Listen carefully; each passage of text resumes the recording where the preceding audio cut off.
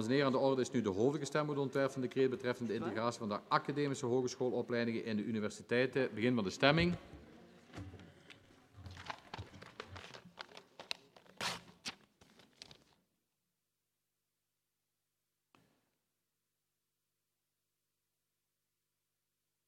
Heeft iedereen gestemd?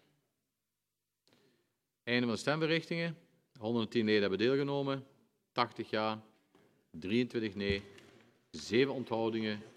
Dient gevolgen neemt het Vlaams parlement het ontwerp van decreet aan. Het zal aan de Vlaamse regering de bekrachting worden overgezonden. Mevrouw van Steenbergen. Ja, dank u wel, meneer de voorzitter. Uh, ik ga niet herhalen wat ik deze morgen heb gezegd. Uh, er is een reden voor mijn onthouding.